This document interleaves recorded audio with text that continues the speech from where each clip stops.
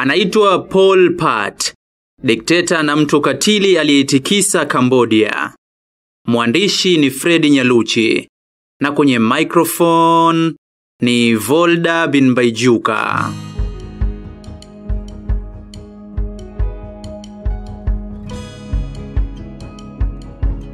Pol Pot ambaye ni mtawala wa kambodia siyo jina geni miongoni mwa watu wengi sana.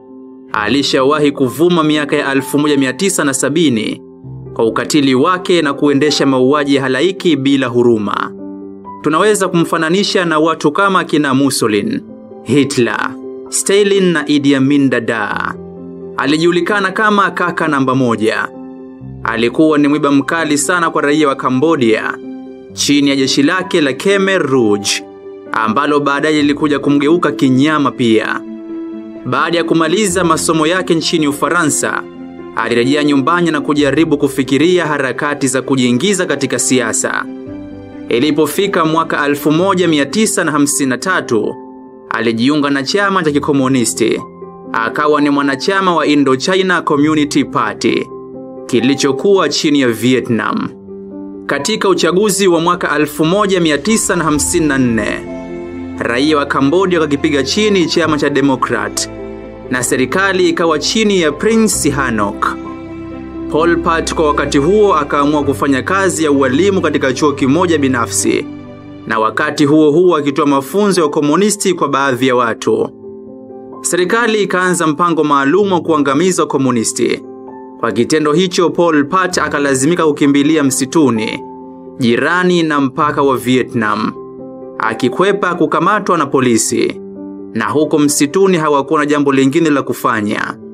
Zaidi ya kujiimarisha wakiwa huko na wakati fulani pia, walipata msaada kutoka kwa baadhi ya raia wa Vietnam ambao hawakuwa na uhusiano mwema na Cambodia. Mwaka 1973, wakajaribu kuivaa serikali ya Cambodia lakini wakashindwa kutokana na Marekani kupinga mpango huo. Hawakuchoka. Mwaka 1975 wakajaribu tena na safari hii hawakufanikiwa pia kuweza kuutwaa mji wa Phnom Penh April 17 mwaka 1975. Kwenye kipindi cha saa 24 wakaamua wakazi wa mji huo kuondoka na mpango huo ukagusa miji mingine na hivyo kufanya watu zaidi ya milioni mbili kukosa makazi rasmi. Wengi kati ya raia hao walipoteza maisha kutokana na kukosa maji salama na chakula. Pol Pot sasa akaanza kujitangaza kuwa ni waziri mkuu wa Cambodia na kuibadili nchi hiyo kuwa na jina la Kampuchea.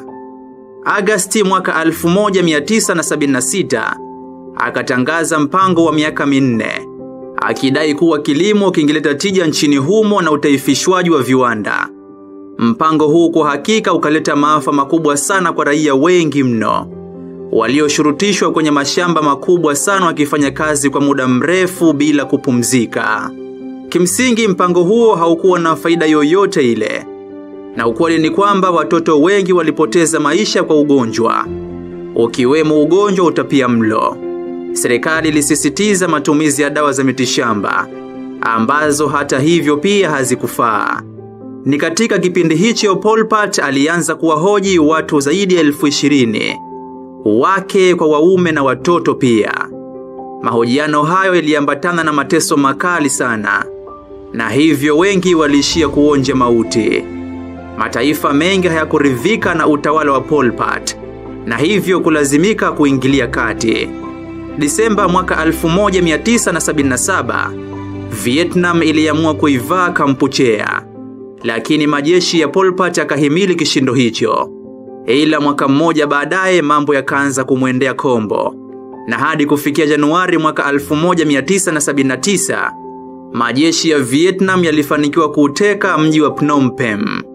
Serikali ya Kampuchea ikasalimu amri na maafisa waandamizi waliikimbia nchi wa kutumia treni. Huku Pol Pot akidakwa na kupelekwa Thailand.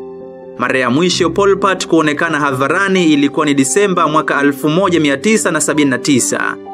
Kwa miaka 19 mfululizo alibaki kifungoni katika msitu mmoja huko nchini Thailand. hadi kifo chake mwaka 1998.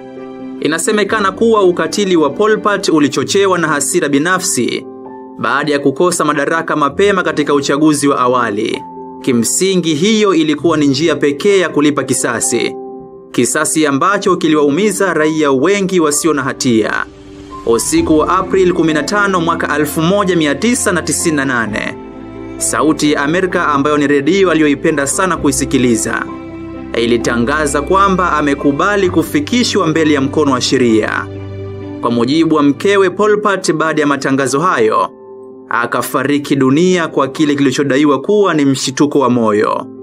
Pamoja na juhudi za serikali za kutaka kufanyike kwa uchunguzi huo, familia yake iligoma na kuuchoma moto mwili wake katika eneo la Anlongveng.